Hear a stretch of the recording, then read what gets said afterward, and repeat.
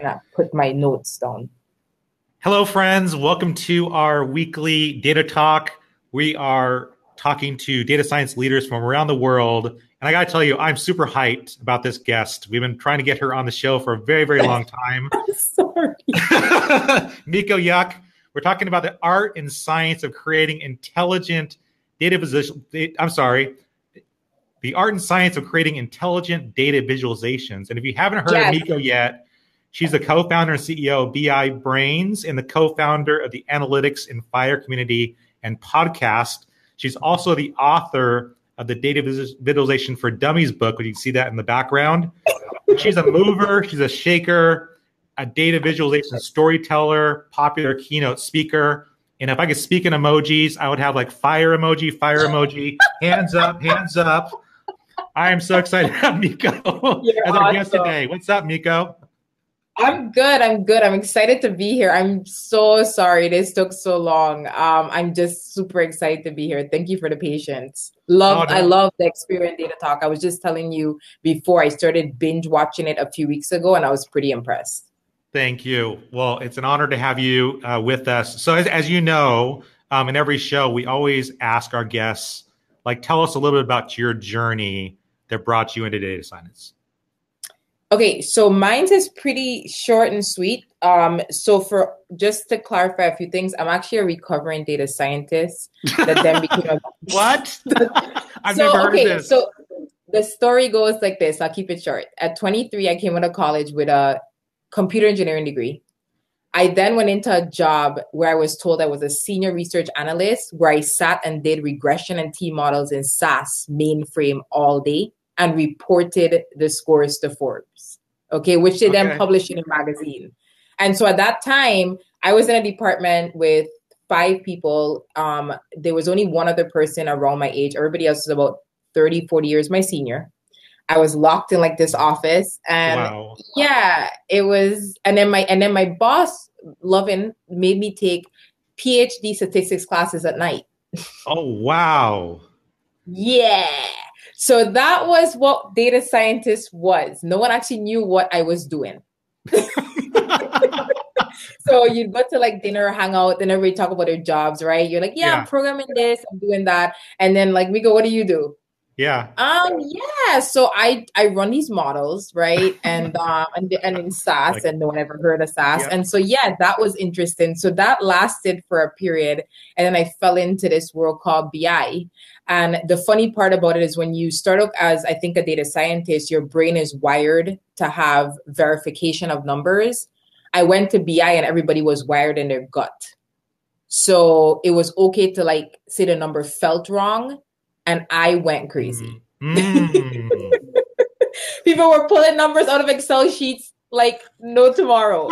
so I became like this kind of like like what I don't know you call it. like I, I went crazy for a little while because I couldn't yeah. understand how people would just fabricate numbers, right? And so where I am today is I think I've kind of meshed that um, foundation that I had with having to verify numbers to, to, a specific point, prove correlation, prove causation, right? Because when you're doing IBM mainframe SAS, you're doing the real thing.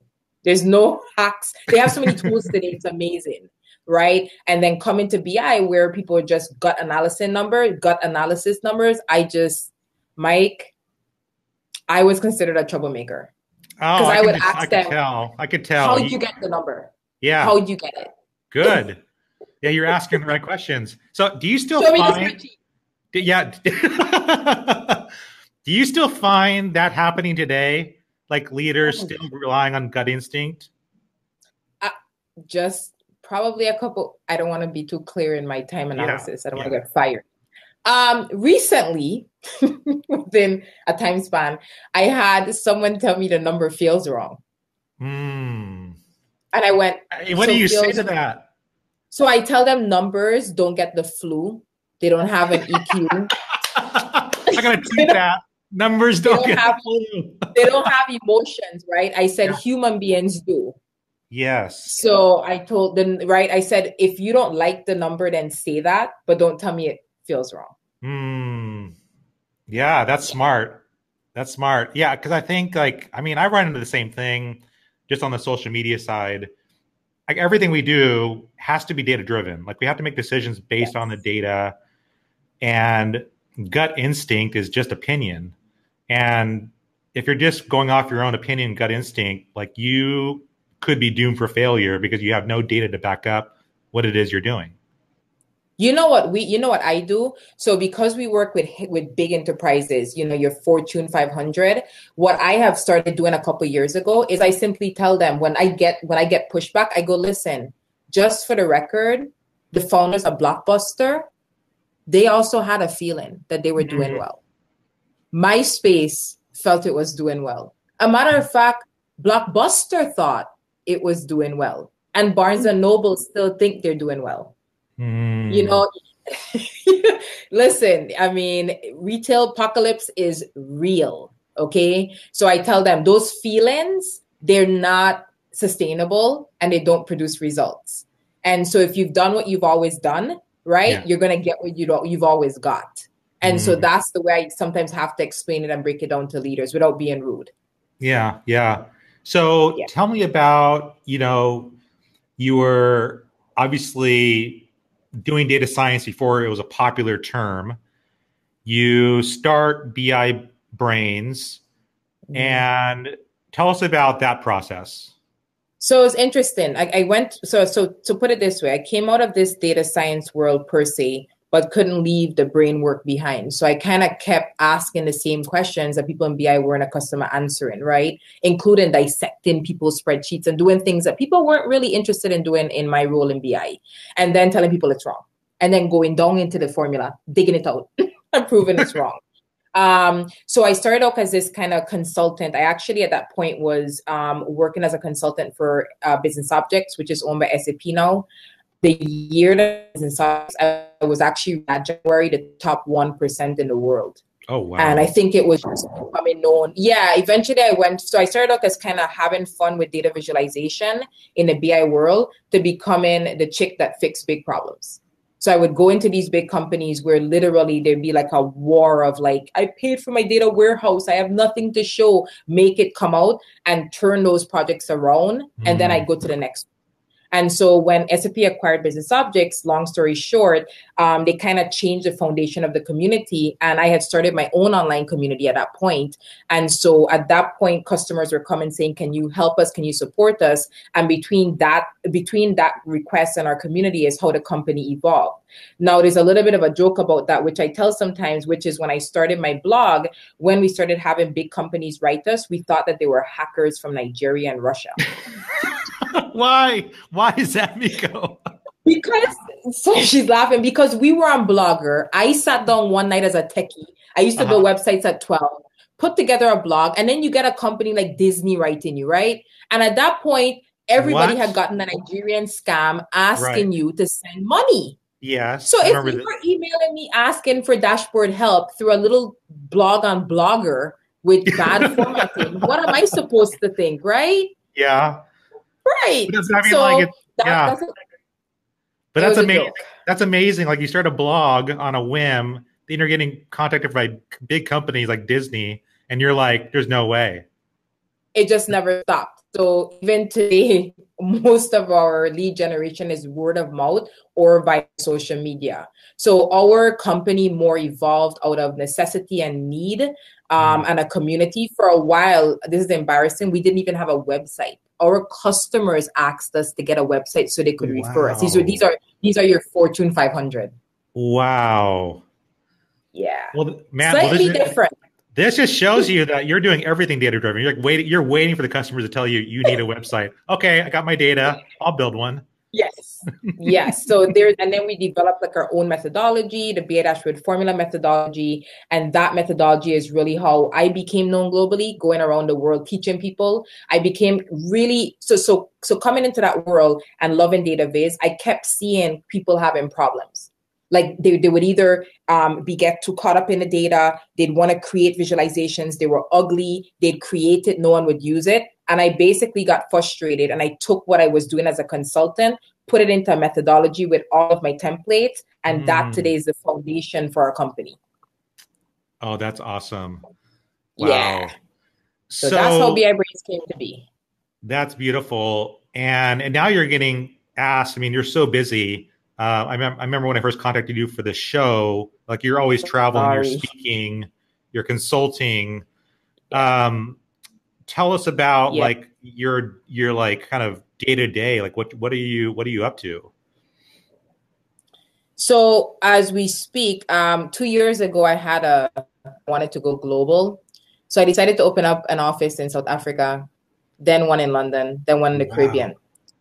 Now that was two years. That was about a year and a half to two years ago. Um, the last two opened up recently, and so what that is is a very extensive test in sleep deprivation. Oh, I've had I've had what you call triplets. no kidding. How? Wait, wait, no. Yeah, before, it's a lot of work. Before you go on, how did you choose those locations? Because you're so data driven minded. Yeah, so they were first of all, I had spoken at all of them for multiple years and kind of okay. garnered the response. We mm. have a very vocal community, right? So people send us what I call Dr. Root love letters, kind of like around the world. And so I saw not just the opportunity for growth there, but I really fell in love with the communities, mm. to be mm. quite frank. And by the way, for those countries that I haven't sent anything to. I don't want anybody to hit me nasty emails because we have a lot of fans in other countries. um, it's not that I split those countries. No, seriously, we do. It's just that those countries to me were some of the most viable, right? We got, and also I was all around the globe hopping, and that also had to slow down a little bit. So, you know, as you consult, as you speak and advise, you know, big global companies on data visualization techniques and better ways of, of, displaying data to tell better data stories. Can you kind of talk a little bit about what you mean by, because the title of this, of this episode is Intelligent Data Visualizations. I remember when we were emailing back and forth, you were very clear, like that should be the title. Because originally I wrote down effective data visualizations. You're like, no, no, no, not effective, intelligent. So can you kind of get into that? What you mean? What you mean? Yeah, the reason I was specific is because back probably about 10 years ago, there was a there was this idea that because something was pretty at data viz, it was all of a sudden great and useful. You remember that error? Mm. Oh, that looks great, but nobody's using it. look great for the first couple of days, right? And so I think what we've done today, which is fantastic, is we've kind of evolved from this. And and and um, let me address the word effective. Effective is great, but to me, it's too vague it has too much of a vague understanding. When you say intelligent, it basically depicts the fact that people expect the work to be done for them. When mm. something's intelligent, it's adding value. When it's effective, I feel like I have to do work. And so the mm. premise around intelligent data visualization, and this is what we teach, is number one, it needs to give answers, not send people on a fishing trip.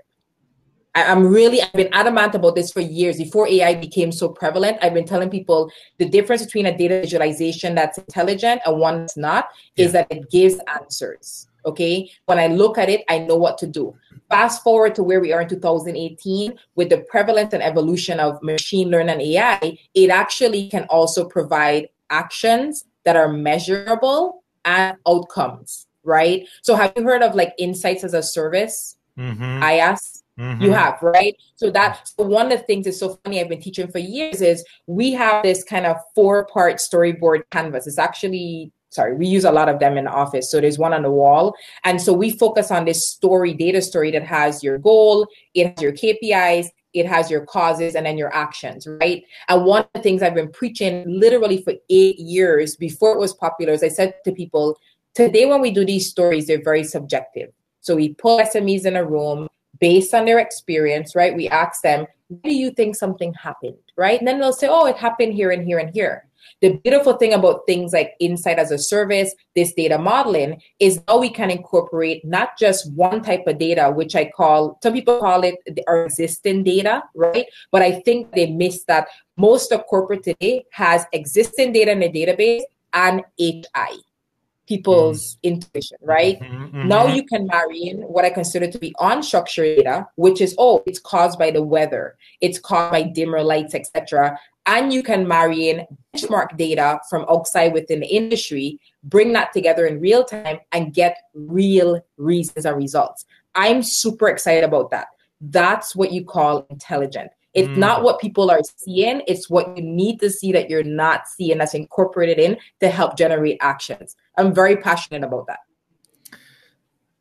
how, how do you deal with? I mean, one of the one of the issues that that comes up quite a bit is people that are creating data, data visualizations trying to tell a story based on again subjective opinion like they have an idea of what the data should be saying bias creeps in right opinion creeps in yes. how do how do you how do you consult people to like avoid running into those errors so it's interesting. I think that for immature, let's deal with immature and mature because okay. we know the maturity in the US, in my opinion. And again, I'm not offending customers. Heavy base of it is sitting where you are, out in the out in the bubble is what I call it, right?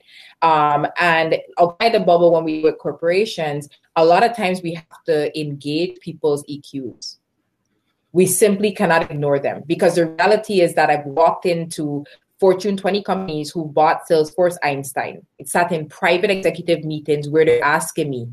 Einstein is literally telling my salespeople these customers churn and they will not call them and make a move.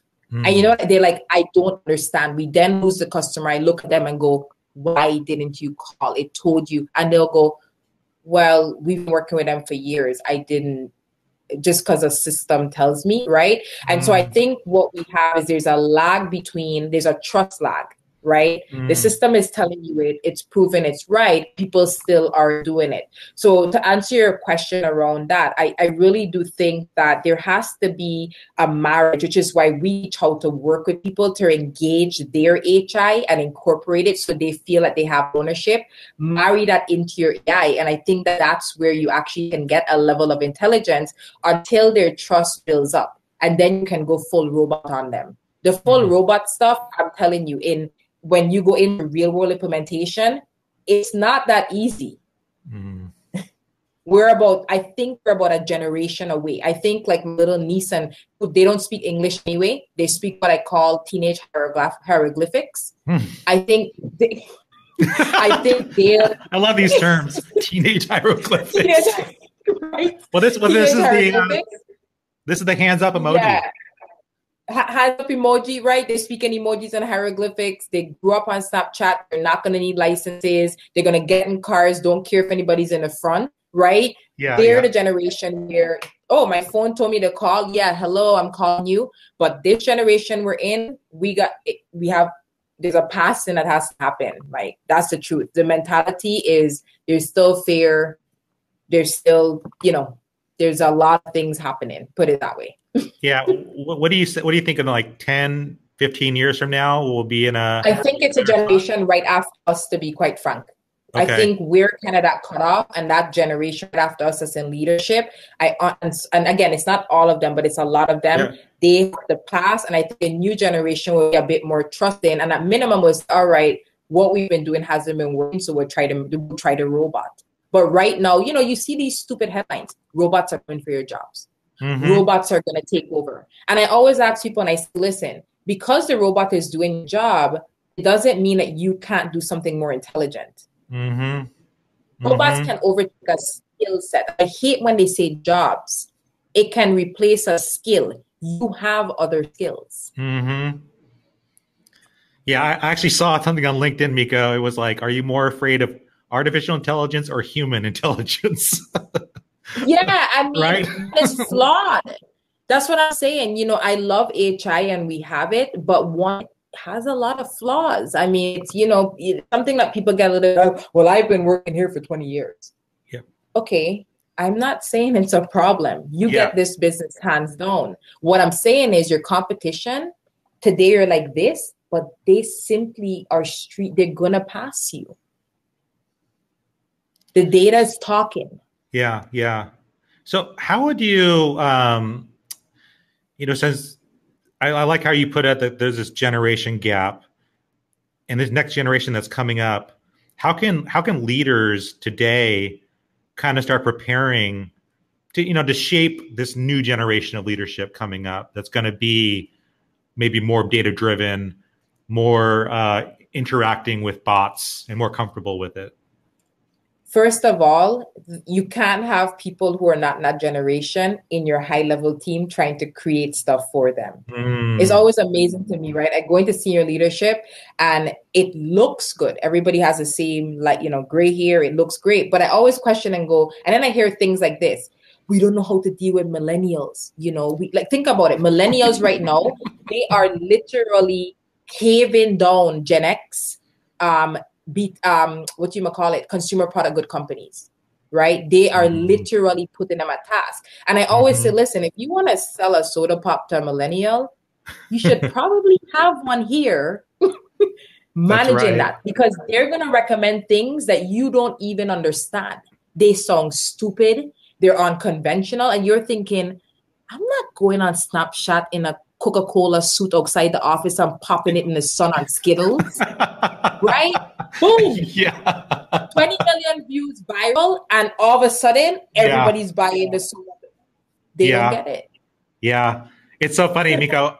I was at a conference and one of the panels was like, it was like around like how to market to millennials and it was geared for bankers. Who and was on the panel? I don't know. I don't remember who was the panel, but I will tell you that the subheading was we have a real life millennial on the panel. And it was almost like like an animal, like a creature. Like we have a you know what I mean? We have a real life millennial. Like you know, I thought I was cracking up. I was like, it's just a person, you know.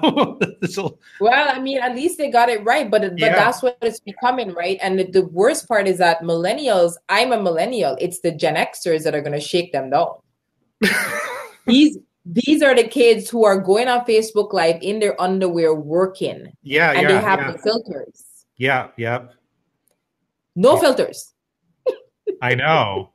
And there's yeah, there's like the good and the bad that goes with that you know the good is like the authenticity the trust the transparency speaking your mind which can be used for good but obviously there's also the bad that we see with this yeah early snapchat gener- generation etc um, yes. but yeah you're right so I think that generation gap, Mike, there has to be a passing. But for the ones today, I do feel that there is hope. I just think that, you know, we're seeing, you know, I, I keep referring to the retail apocalypse because I track it very closely. And mm-hmm. I always look at why are certain companies like Amazon and these companies, they have a department where data is king. They they don't care what people say. If the if the data doesn't say it, it doesn't matter right? And and and, right. and that takes a certain you know your ego is in the garbage. It, there's nothing to do with a human being. So you know i think that culture has to become a bit prevalent put it that way. Yeah. sorry my, the uh, cleaning guys here for the office. Oh, okay. Yeah no i was going to say like yeah that's definitely like you know here at experian definitely there's been a huge culture shift where everything that we do at Experian has to be data driven it's like you might have an opinion but you got to back it up with stats back that's it up with awesome. data. And that's the way that we are making all of our decisions. Um, but the and, thing is, Mike, and I'll say this there yeah. are leaders, and I've met quite a few and worked with a few who say that. Yeah. Right. But they they say that, but then in the leadership, and I've sat, you know, remember I do executive advisory yeah. and coaching as well. The, the leaders are important to them will present the data and then add their feeling on it and because that leader doesn't want to lose that person they acquiesce. Mm. And I see this all the time. I'm sitting all the time texting the CEO, like, hey, we talked, like, I showed mm. you this before we got in here, right? And then they write me and go, I hear stuff like, Mico, one day you'll understand, right? Mm. You're gonna be mm. this humongous leader. You you understand that something some things are more important. You can't lose your troops. And so that's you know, like it's this yeah. choice between, and so those type of battles. Yeah, that, that's rough. I think you get yeah, yeah, they get in the middle of they get in the middle of progress. And that gets back to what you were saying about the EQ, like when you're dealing Correct. with somebody, right? Understanding Correct. the emotions behind decisions that are being made, that's going to impact everything. And then you're being brought in as consultant to help make some smart decisions to drive the business, but in the background you have emotions and employee politics and all these other things at play that are impacting, you know, the advice you're telling them what you need to do. Yes. Yes, correct. And one thing as well as interesting from a culture perspective is I always tell people because they people ask a lot, you know, I go in as this, I used to be the data viz chick, and I tell them being successful in data viz is less about pretty dashboards and more about tapping into people's EQ. I did a lot of homework mm. on EQ. A lot. Oh. A lot. I told them, I said, if you look at a successful consultant engagement, and you're doing it where it's like a super success, it's about 40 to 50% EQ and people management, and the rest is actually the work. If you don't get the first part right, no matter what you produce, it's not going to work. And that's again where I think in these enterprise cultures, where the evolution of AI has a little bit, it, it hits a wall sometimes you know, because mm-hmm. again, you have people and generations who are wanting to be involved, wanting to have control. The minute you pull control, they kind of feel like, oh, I'm a robot, I'm replaceable. And what mm. you're saying is, listen, because you're now being told what to do by a smarter system, you're not replaceable, right? What it allows you to do is expand your capacity, expand mm. your value. But that mentality, I've seen it a lot, is very, it, it's, you know, it's not as prevalent in certain groups. I can tell mm. you mm-hmm. that. Yeah, I, I, mean, I'm, I'm actually excited for to have more bots and more AI working with me to be because it's like that could free up a lot of menial tasks so that we can be focused on strategy, focused on analyzing the data, and it'd be great to have AI helping with all those different efforts. So I'm I'm actually very excited about the future. We're not there yet, but I'm excited about where things are headed. But I understand but I totally understand the other the other side where people are scared of losing jobs. But like you said, it's a skill set, and as humans, we have lots of other skills. And for those of us that want to remain in the workforce, we have to constantly be evolving and adapting Correct. and growing. Correct. It's like schooling should never end for us. Correct. I listen. Um, I have a little joke to tell you. So I right now I'm fascinated with chatbots I don't mean to plug them live on here, but they're yeah, go for it. Go for it, because I actually go to three websites and play with the bots. I oh, go to do? drift. I go to drift the dot com all the time, and I try to screw with the bot. Are you found any good ones? Go to drift. Go to you drift. Know, do you, do, yeah. Do you know what drift is? No, no. Yeah, Drift is like intercom on steroids, basically, right? Oh. And that little bot is cute and he's smart. I try to game him on different um on different bro- yeah, I know it's super geeky, whatever. He's smart. I try to game him on different browsers. He's caught me or you're back. I go to different pages. I've been fascinated. I've been playing. Obviously, Intercom is one of the more well-known ones. Um, yeah. they're a bit more knowledgey, but Drift Bot, he's cute and he's smart. See, I love this. Amika, while you're busy like learning and growing with the chat bots. I'm I'm playing Fortnite with my son. I know. I'm like, people think I don't have a life, but he trust me. If you go play with him and start typing random stuff, he's very cool. He reminds That's... me of when I got to play with Watson. I've got to play with Watson a oh, bit. My... Oh, really? So, oh, so one of my friends at IBM wanted to show me how Watson auto generates with data immediately. So I actually got to go in and kind of type inquiries, and Watson was outputting the data with the text on the bottom. And how how was that experience? It was great. Watson's smart, and when he when Watson put it out, he also added other context from the internet immediately. Ooh. Oh wow! Yeah. See, that's that's cool. A little bit. It's a toy, man. Toy junkie. Yeah, that's awesome. I've only had I've had like limited um, um, time with different bots. Like there was a it was an IBM Watson, but it was like a they brought in a bot about a year ago into our office to kind of sell it for like trade shows because they were saying like if you have right. this bot at your trade show booth, it's kind of cool and innovative, and the bot would um, quickly scan you know the the ID of the person at the trade show, you know, mm. as a mm. potential lead, and then would also gather other behavioral information from the person like gender, uh, personality type, interest level into certain products, and it would gather like kind of like this qualitative data along with quantitative. Uh, but those bots are very, very narrow as far as AI. It was like very specific. Yeah, the one I played with for Watson was really well. It was actually an implementation of big company. It was really well trained. It had been the, the model was about four years old. It was a smart sucker. Oh wow! was, oh wow! Yeah, because I, I told them, I'm like, I don't want to do canned responses. They're like, mm, go ahead. So I was oh. like, get yeah, it was it was good. And then I've done a few with um NLG um, so just I've I've done a few with audio. So I just speak it in, it produces the audio. I had a startup in Portugal call me to test their NLP one.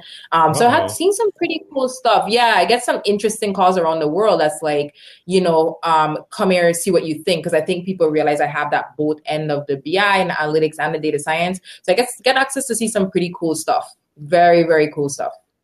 Love that. So um, when when we originally posted this chat, um, our friend who we had on uh, Brandeis Marshall, who is a professor over at Spelman College.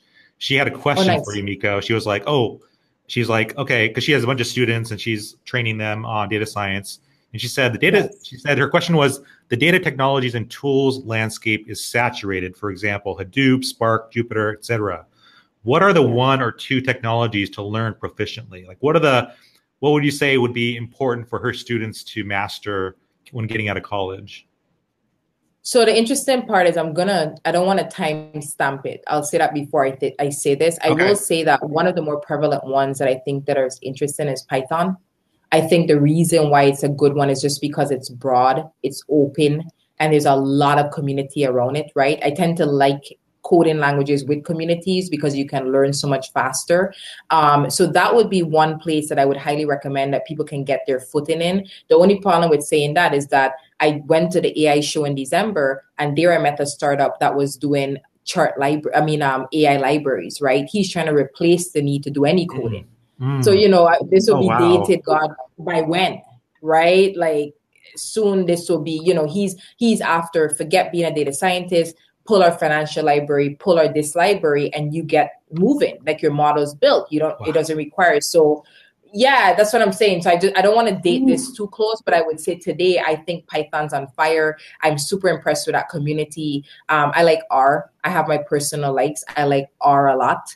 And oh, she put Hadoop, she put Spark. Not a big of a hype person. I again because I feel like if you get your foot in in one that's open and you get the foundation, a lot of these technologies are very similar. You can apply what you've learned across multiple. So I think I will still stick with Python today. Okay. Another question I have for you for data visualizations is what makes you cringe? What types of data visualizations like are you like really? Or what are some common mistakes you've seen people make with data visualizations? So one that absolutely gets my and I do it in my course, I just pass out is when I go when I open the visualization. I just I do it in my I do it in my course. I pull I put something on the screen and it has like a spider chart or a water like a candle um, candlestick chart. Like I always do like what I, I never even heard of, I never even heard of spider chart. You shouldn't. There's no reason you should ever use it. This is my point.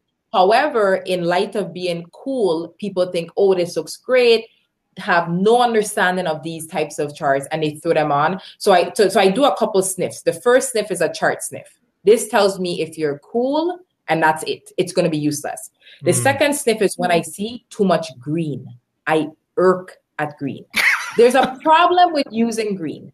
What is People that? Put, because there's rag colors, right? There's your red, amber, green colors. And what happens is you can have the main thing going bad in red and everything else in green and human beings get a sense that everything's great when it's mm, not. Mm. i hate green. It's on the record. Okay? You're talking about pet peeves now. Yeah yeah yeah. No, no this is great. Because that's very deceiving. That's very deceiving to yeah. chart like that. It's an emotional roller coaster but let me tell you the truth. I we've went in produced data visualizations and we've had senior leaders tell us that without the green it's depressing. Oh True yeah. story. Yeah, I believe Not it. Once, I believe that. Twice. I believe that. And well, then they tell us, Mico, but every day it looks like something's wrong. And I said, well, listen, if it was right, we wouldn't be here. Yeah. No, it's funny you even say that because even like I, you know, I manage social media, our dashboards automatically are green and red. Like that's just it just straight up, that's just the way that they're built. I can't even change yeah, the we, color of the dashboards we replace greens with grays. Um, we're very anti-green. I know that sounds mm. really bad, but it gives too much of a false sense of hope. My third pet peeve in data viz is um it was just i just had it in my mind it's greens it's the chart sniff i want to be cool is trends Hmm. Get beyond the trend if you want to see me my, my team knows me they see me roll my eyes i get pretty i get pretty emotional and dramatic when it comes to data viz show me a dashboard that's only showing me what happened and i'm done like i just i just Hmm. I actually so there's a term I use in the office. It's called toilet water colors and toilet toilet water charts and toilet water use. I actually Oh. call that that's a term I use. I do. I feel that strongly. So when I when my team is doing stuff and I go, yeah, that's a toilet water purple. That's a toilet water chart. That they know, like, oh, let me just get that off the screen. Hmm. Oh wow. Okay. reason I Yeah. Well, the reason I say that is think about it. Most data visualizations, if we go on the internet today and we go pull up what's on there, 98% of them are only showing you what happened. Mhm. They add no value whatsoever. Hmm. And that is something. So I started advocating three years ago, Mike. People have to get beyond the trend. Hmm. Get rid of trend lines. So okay, I'm, I'm, you're you're schooling me here. All right, so because I I've created tons of trend charts. Like Oh, yeah, people love them. Yeah, yeah, because you can tell a story and you can like show. But you're but so what? What should what should we do for those of us who are been trained to like tell the story with a trend line? What what what should we be more focused on? You should ask me what's my problem with the trend line. Oh, yeah, I okay, what- also have, yeah, I have. Okay, so I have problems with trend lines. I have problems when people put these um uh multi-bar charts um together where you have two bars. Here's my issue: when I look at a trend, I have to do analysis. When I look at two bars, all I'm trying to see is the variance, right? I always go instead of making me analyze and giving me more work, just Yep. tell me the answer. I don't want to analyze and do work. Like when I teach my workshops, I I become the user in the workshop and I warn them, I am the laziest user you've ever had. Okay? I'm literally a Gen Xer. If you make me sit on and analyze charts, I'm going to export to Excel and I'm gone. And so when I'm teaching, I'm I'm helping them to dig into people's Yeah, EQ and saying, don't give me work. Yeah, yeah, Don't yeah. give me work. That's so right. trends are work. That it's totally work. It's it's a lot don't of want to do it. Yeah, I gotta see was it going down? How fast was it going down? And on top of it, you're tapping into my subjective opinion. Just tell me the answer. Mm, mm. Second of all, the bigger problem with trends is they show you how you got there. A lot of times they don't predict two things. Even when people do forecasts, they do forecasts based only on if you don't change anything. You know what I want to know is two parts. That's why we teach this story. Now I know how we got here. Tell me how to fix it and tell me exactly where I end up if I fix it. We skip impact. So that whole part is missing and it drives me nuts. That's why the Hmm. BA formula, formula was created. I just got tired of trends. How many dashboard trends can you build? I know th- thousands. Too many. And you're right. Yeah, Super but remember when you when you build trends, what you're doing is you're incorporating an environment where you're forcing people to export the data and go into what I call pivot table heaven, Mm. nirvana, right? They export, they start like, am I lying? Am I lying? right. That's right. That's right. And you can spend Right. hours, days. Yeah, right? because they're trying to Analyzing and telling a story. the trend that went down. What happened, Mike? What happened? We own the date. Why don't you tell me what happened? I don't care if you. And then the second thing that pe- peeves me is when people put these things together and they look like a technical spec. Use names that people understand. Add text. Tell me what went wrong. Don't make me go on a fishing trip. Mm. So I'm very anal about context, very anal about minimal visual, telling you what you need to know to get you quickly to action. Yeah. Yeah. Yeah, I, I have some very. I need to write another book because I'm. It sounds like it. Yeah, it sounds like you need to do that. I love the your sniff test. I think that's a really cool Yeah, way to approach it. That that's beautiful. So Yeah, well, you've schooled you've schooled me today. Um, so I want to. I know you're busy. I want to thank you so much for your time. This has been a fascinating discussion. I've learned a ton. I'm gonna try to not make so many.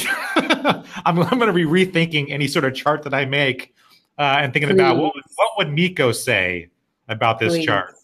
Um, Just two things. Just remember, give me the answer, even if you have to use text. Tell okay. me what happened so I can quickly get to my job. Tell me where I'm going to end up and tell me how to fix it. If okay. we just got some visualizations to focus on that, I think the world of data viz would change. It's too much hindsight. People are, it's work. You're giving me something to go on a fishing trip to China.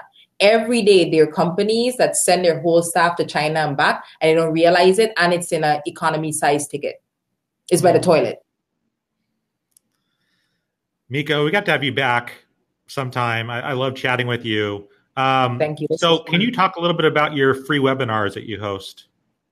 Yeah. So right now, one of the things that we're doing there's so there's two things that we do for people that are interested and have and see things. And if you believe that trends are bad, sorry, and you convinced me, Mico. You, if you believe that that too many pie charts, too many candlestick charts, I can go through these charts, shouldn't exist anywhere if you believe that people need to take action, and I'm saying this because if you don't believe these things, this is where it cuts off. Just keep moving, okay?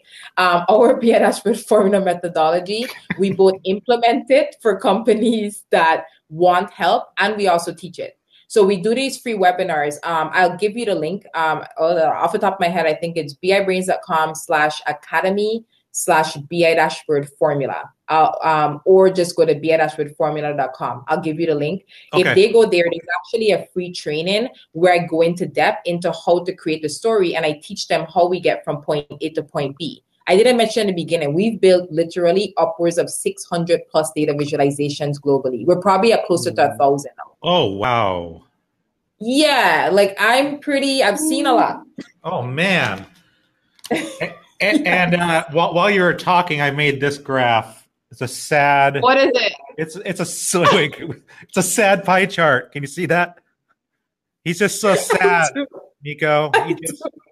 I'm sorry. Go look up candlestick chart and you'll see why I go look up. Listen, go look up the spider chart and you, I, seriously.